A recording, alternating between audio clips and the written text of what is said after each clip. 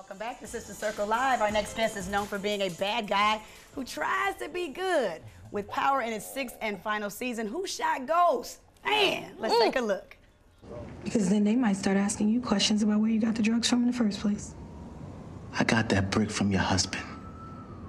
So if you want you and me to be the only ones to know about young Tariq's little business expansion, you gotta give me 50,000 reasons to keep it that way.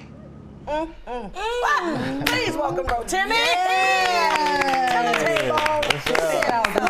First of all, yesterday's episode wore me to the low. but I, I must say, just I just want to compliment you. Your acting in yesterday's episode was absolutely astounding. Thank you. Especially the, the part with your mom. Yeah. Oh my God, it Yeah. was so good. Even Thank when you. in the jail and up.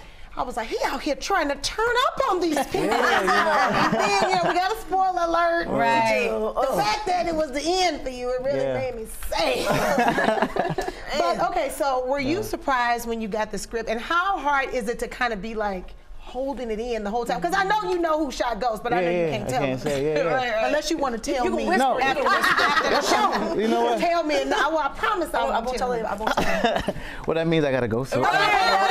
Okay, okay. back Oh, okay. All right. Nah, uh, for me, I, I knew after episode three, you know, so I knew for like a year basically now. Wow. Right. You Wow. know, so for me, it was holding that information. Everybody's asking what's gonna happen, and then that was when the first spin-off ideas started happening. So you're, mm-hmm. you're hearing your name come up here, you're hearing your name come up here. So then me and Courtney sat, and she said, "What I want to do for you is make a mini movie, basically, mm-hmm. just to, to end it off right for you, Right. so everybody can mm-hmm. see the range you have." Yes, Range. Oh, yeah, so it was a vibe. Yeah, Yeah. The range is there too. Yeah. whole Thank episode you. was you. about you. Oh my Thank gosh, you. I just oh, It was excellent. Thank you. Uh, well, you played so many characters as an actor. Yeah. But what has Dre taught Mm. you as an actor to help you forage on with other characters that you now Nice, play? nice, nice. Uh, I think you know, I never took an acting class. You know, so yeah, Ever? never in my life. So like, Power was my school. You know, so together. learning, yeah, so learning from Omari and learning from Joe Sikora was was my my, my teachers really. Yeah. But for me, I think what I got from Dre is the subtleties. He doesn't have to say too much. It's all about his eyes. It's all mm-hmm. about the smile. It's all about the walk. It's all about all these extra things. And like the last episode was, I was able to actually show tears, passion, fear, a dad singing a little bit. So Oh, yes. it was just, it was just uh, uh, preparing me for the next step. It was like a perfect reel for an actor. You know what Yes, yes, yes, Yeah. yes. And you spoke of uh, Omari Hardwick and Joseph Sikora. I mean, We have so many celebrity appearances Yeah. on on Power. But is there anybody that you are thinking about that you would love to work with and share the screen with? Ah, De Niro. yeah, Yeah. That would be real good. Yeah, yeah. De Niro Think De Niro only because I, I, uh, well, he's a legend, but I studied, I studied him. You know, again, from not being able to go to classes, really, I studied his his eyes and, and everything. Yeah. Wow. Yeah. Well, listen, none real of us wanted power to end. You know Yeah, that. I'm yeah. sure you didn't either. Nah. However, Uh-huh. what's next for you? What's on your agenda? More movies, television? Where can we see you? Uh, music. I got a new project coming out, oh, out now. It's called uh, The Beauty of Becoming. I got a new single called In My Bed with Wale. All right. And I You shot, ain't in your bed with Wale? No, No, it's called In My Bed Wale, featuring Wale. featuring Wale. For I can't live my life this way. My God, today. And, I- I can't and, live my and, life and, this way. and I'm filming a, a small little movie called Coming to America too. Mean, Well, thank you so much Thank for you, joining you. us. Jesus of course, Christ. for those of you who are staying for the full hour, we have more with Rotimi. If you're, uh, if you want to keep up with Rotimi, please Yes. make sure you do so on his Instagram page. and The conversation always continues on Sister Circle TV on all social media platforms. Bro Timmy.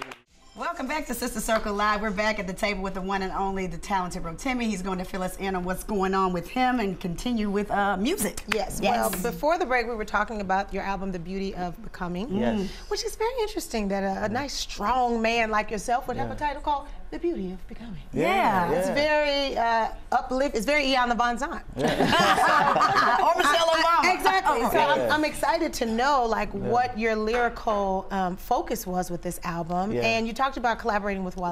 Yeah. But are there any other collaborations and any tour dates that we could be expecting to uh, or expecting to go, Go to or on. back tickets to? So the, the, the, the purpose of the Beauty of Becoming was because the first project was called Walk With Me. Mm-hmm. So you come on come on this journey with me as an artist see what i can do Right. all i need you to do is just walk with me Yeah. now the beauty of becoming is the transition now it's like i Mm. am becoming what i'm supposed to be you know in this field so i feel like for my career musically i've had to continue to prove myself Mm-hmm. so then the album will be here i am you know Mm-hmm. so it's it's like the the journey of of rotimi So the next album will be called Here I Am. yeah So the then album, yeah. these are, but these are full LPs. These are full albums. It's just, this is it's Yeah, two EPs mercy. and then the album So it's an EP. be Oh, okay, so yeah. it's EPs, and then for those, I'm for that. Yeah. I'm for that. LP is long play. Right. Yeah, yeah, yeah, The yeah. EP is edited play, so Yeah. that's like five to six joints. yeah.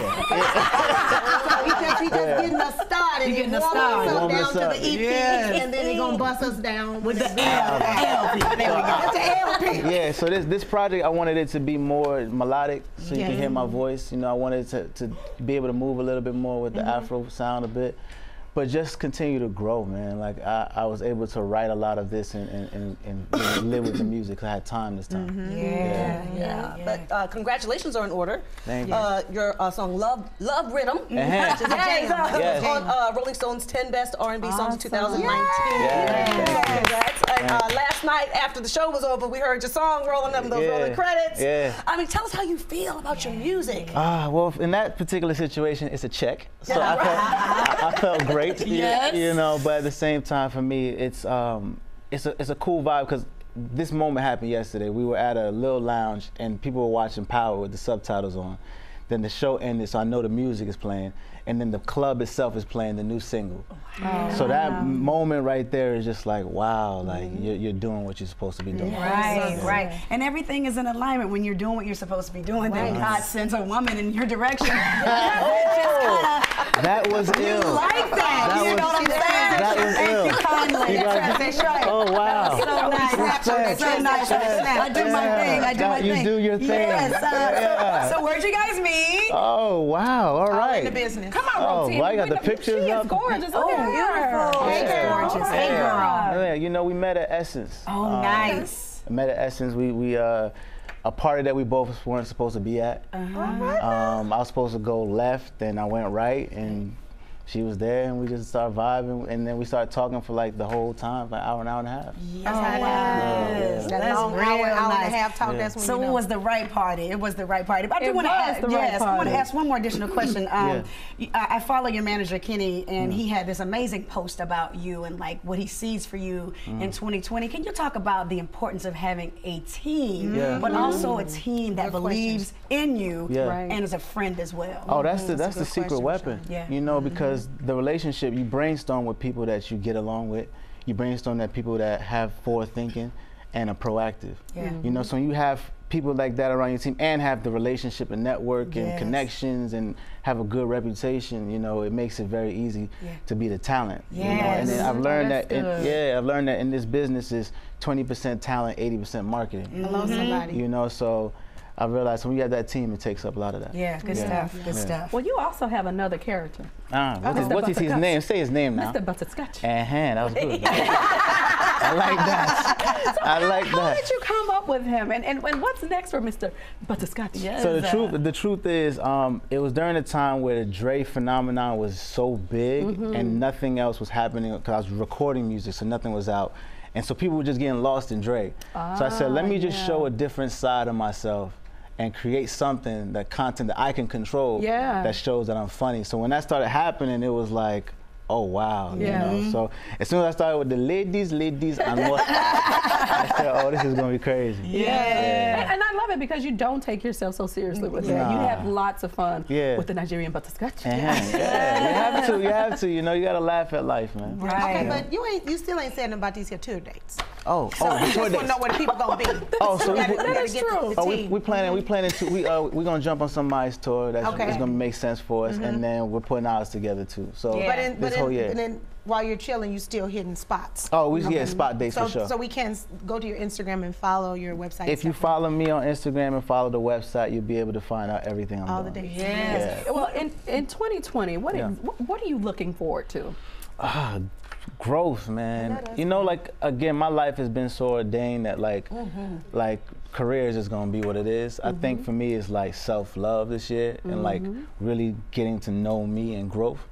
the career gonna take what- take you know do what it do. But I think it's as a man, I, want to keep growing. What self love look like for you? Um, taking time like. This, bu- this business is one demonic.